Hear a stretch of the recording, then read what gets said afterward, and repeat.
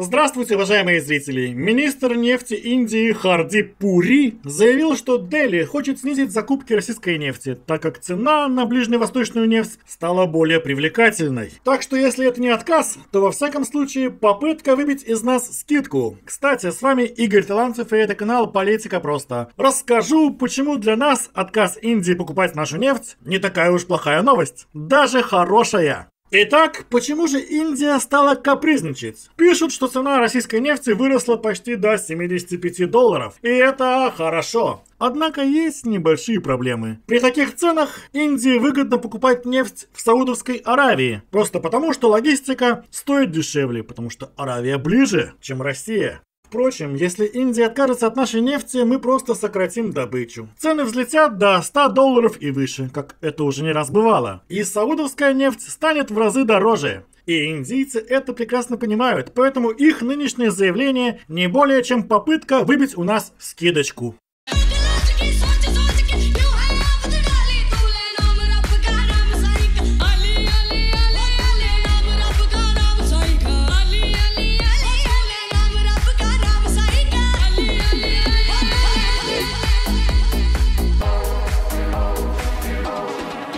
Но лично я считаю, что нам не нужно поддаваться на этот шантаж индийцев. Вы же знаете основную проблему торговли Индией. Они платят нам в рупиях, на которые ничего не купишь. И так просто на самом деле эту проблему не решить.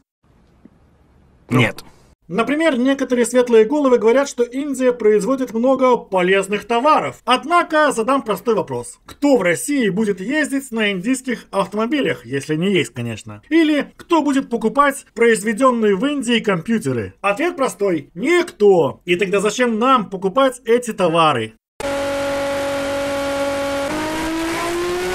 К тому же не забывайте, что индийские производители из-за западных санкций опасаются продавать нам товары двойного назначения, то есть почти все. Так что на самом деле все сложно, друзья мои. Давно говорят, что мы якобы переводим торговлю в юане и другие валюты. Но я лично не понимаю, как это вообще возможно. Чтобы пояснить свою мысль, задам еще один вопрос. А у Индии вообще есть свободные юани, чтобы платить за нашу нефть? Уверен, что торговый баланс Индии и Китая смещен в пользу Китая. А это означает, что у Индии просто нет юаней. Аналогично с саудовским реалом. Это ведь саудиты продают Индии нефть. Так откуда Индия возьмет эти самые реалы. Вот и получается, что индусам негде взять валюту, чтобы с нами расплачиваться. Поэтому мы никогда раньше и не продавали индийцам нефть и другие товары. У них нет денег, чтобы покупать. Вот почему я считаю, что нам выгодно, если Индия просто откажется покупать часть нашей нефти или даже всю нефть в пользу Саудовской Аравии. Потому что нам не нужны никакие рупии. А вот оставшуюся часть нефти, которую все-таки Индия будет покупать, пусть она оплачивает в нормальной валюте. Точно не в рупиях. Впрочем, осталось сказать, что есть и некоторые другие соображения, противоположные. Возможно, что нам выгоднее поставлять нефть в Индию даже за бесполезные рупии, чем закрывать скважины, а потом открывать. Если я правильно понимаю, это очень сложный и дорогостоящий технологический процесс открытия и закрытия скважины. Поэтому проще поставлять нефть в Индию и получать за это, в общем-то, бесполезные рупии.